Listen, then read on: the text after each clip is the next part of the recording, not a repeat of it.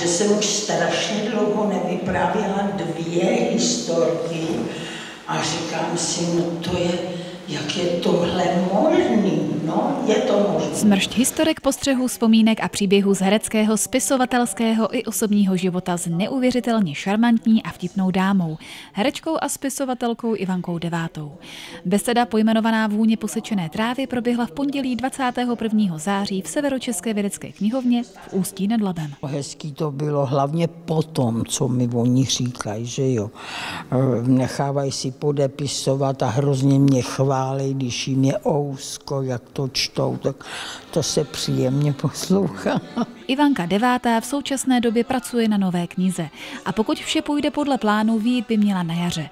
Původně ji uchvátili divadelní prkna. Ovšem další vášní a to psaní se začala naplno věnovat po svém odchodu z divadla v roce 1991. Já už jsem psala během ty doby, co jsem ještě byla v divadle, nejdřív fejetony, pak knížky a, a tak. Takže tak se to vyvinulo. Bylo to opravdu zajímavé a strhující i legrační a prostě myslím, že jsme se tady všichni dobře bavili s takovou šaramatní dámou. Bezvadná. Jo, je, je fajn. Zajímavá. No, je to už starší dáma, ale je furt taková plná života. Ivanka devátá publikovala několik knih. Inspiraci čerpá většinou ze svého vlastního života a divadelní praxe. Její poslední kniha Džungle v kuchyni vyšla v roce 2019. Moje knížky jsou vlastně o tom, co jsem prožila, zejména ta první rodinný podnik a vůně posečené trávy.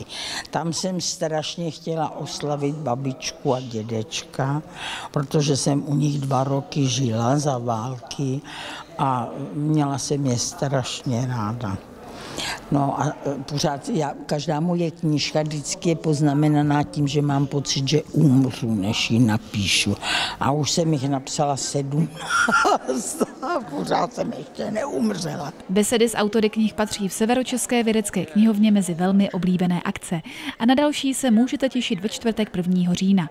Magistra Renáta Šoltová, autorka knihy Proč k nám miminko nechce, nabídne zcela jiný pohled na problém žen, které nemohou otěhotnět. Pro regionální televizi Ústecko Renáta Filipy.